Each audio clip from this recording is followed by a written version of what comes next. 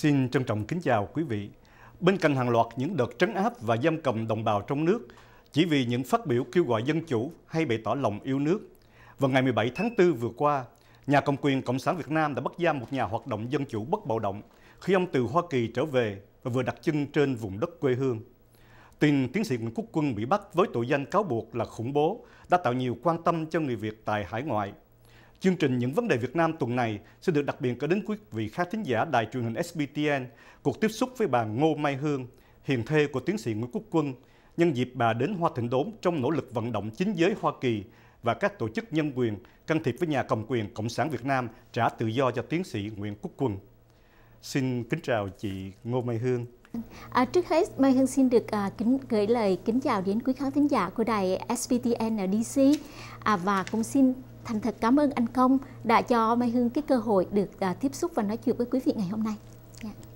Dạ. À, thưa chị, à, trước tiên là xin chị dành cho quý vị khán thính giả SBTN những tin tức mới nhất mà chị nhận được về tình trạng của anh Quốc Quân thưa chị. Dạ vâng, thưa quý à, khán thính giả cũng như là anh Công, anh Quân bị bắt ngày 17 tây à, tháng 4 tại à, phi trường Tân Sơn Nhất thì đúng cái ngày 27 tây lúc 5 giờ rưỡi sáng thì ở bên đó um, tổng lãnh sự quán ở Sài Gòn đã vào thăm được anh Quân. Và có cho tôi biết rằng là anh Quân trong tươi tỉnh à, um, à, khỏe mạnh. Và anh anh Quân có nhắn ra là à, anh mong tôi yên tâm và cũng như là nhắn các con là học hành à, giỏi giang siêng năng hơn cho bố. Dạ vâng. Thưa chị hơn ai hết chị là người rất hiểu về con người và bản tính của um, tiến sĩ Nguyễn Quốc Quân. Thì thưa chị chị nghĩ sao về cái tội danh uh, khủng bố mà nhà cầm quyền cộng sản Việt Nam đã cáo buộc khi bắt giữ anh Quân?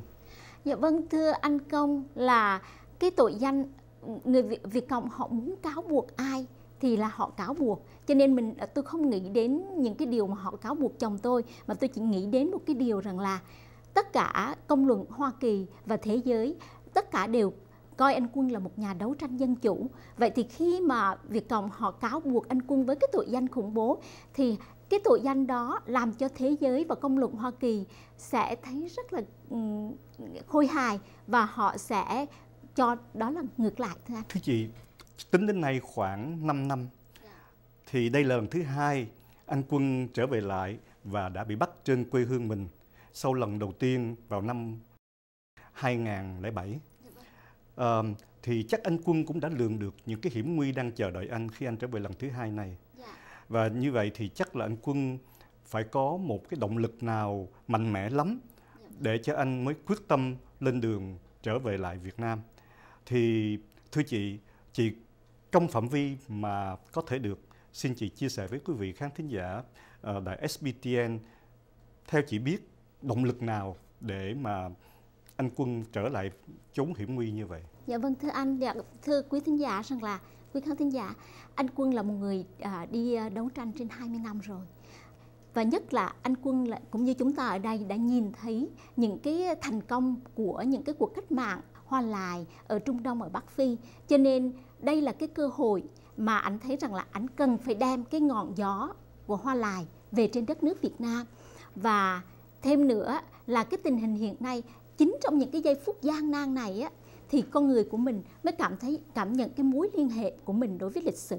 Và chính vì cái mối liên hệ của mình đối với lịch sử thì lịch sử nó không còn là những cái con chữ nữa mà lịch sử nó là những cái lặp lại của những năm tháng cũ. Và chính ở những giây phút này thì tôi nghĩ á, cái lý do mà anh quân trở về cái động lực lớn nhất là cái sự nghĩa là ngang ngược của Trung Quốc. Cái sự mà đất nước mình có thể mất bất cứ lúc nào. Và chắc chắn là vì không muốn đất nước Việt Nam biến thành một Tây Tạng thứ hai.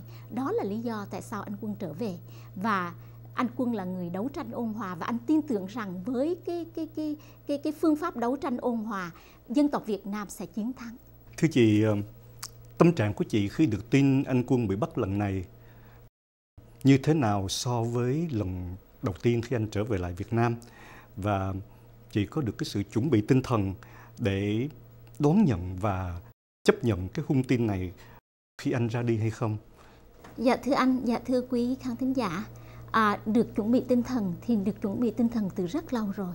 Dạ nhưng mà nếu mà so lần này với lần trước á, thì lần trước thì phải nói là quá lo sợ nhưng mà lần này thì tôi và các cháu đã được à, chuẩn bị tinh thần thành ra nhưng mà dù vậy thưa anh dù vậy chồng mình bị bắt mà luôn luôn là những cái khó khăn khi mình gặp phải.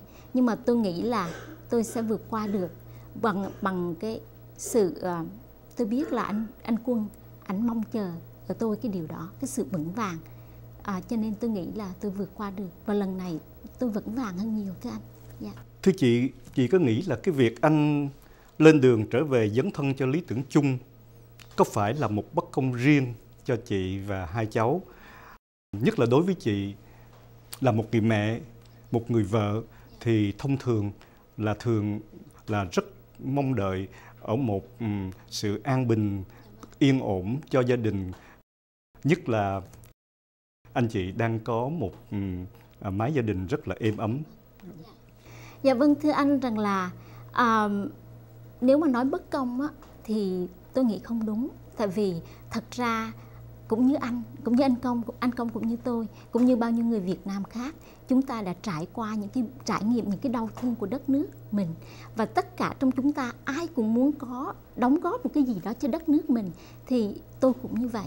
Tôi cũng như vậy nhưng mà uh, luôn luôn nó là những cái dằn xé vì mình thương chồng mình. Nó nó luôn cho nên chính ở những giây phút này tôi thấy là một người vợ là một người một người đàn bà Việt Nam rất là khó và tôi kính phục người Việt người phụ nữ Việt Nam những người phụ nữ Việt Nam rất là khó vì họ phải chu toàn cả hai cái bổn, bổn phận mà hai cái bổn phận đó nó luôn luôn là những cái rất là khó thưa anh. À, qua lần anh bị bắt lần đầu tiên đó, à, chị có thể chia sẻ với người khán thính giả những thử thách và những khó khăn mà anh đã trải qua hay không? Dạ thưa qua lần bị bắt đầu tiên á thì anh biết um, dạ thưa quý khán thính giả là anh Quân là người rất là ngang lì và ảnh ảnh là người đi đấu tranh.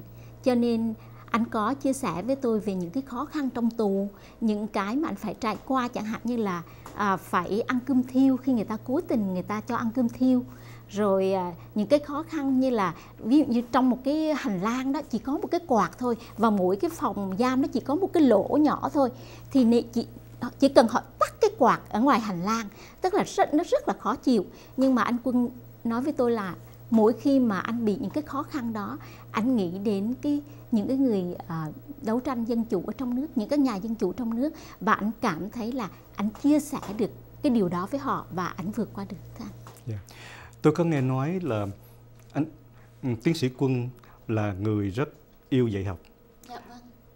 thành ra ngay khi về nước dầu là đang khí ốc ngoài hay là vô trong tù dạ. anh vẫn tiếp tục theo đuổi cái năng chức của anh dạ. trong nghề dạy học xin chị có thể kể một vài cái thí dụ chứ dạ vâng thưa anh quân là một người à, rất là mê dạy học và cái ước mơ lớn nhất của ảnh á là ảnh khi mà đất nước có dân chủ ảnh trở về ảnh xây dựng một cái ký túc xá cho những sinh viên nghèo và khi mà những sinh viên đó tới học trong cái ký túc xá của ảnh thì anh sẽ lo cho ăn cho học và đến khi nào các sinh viên này ra trường thì chính những các sinh viên này sẽ đi làm và lấy tiền nuôi lại các em học sinh nghèo khác.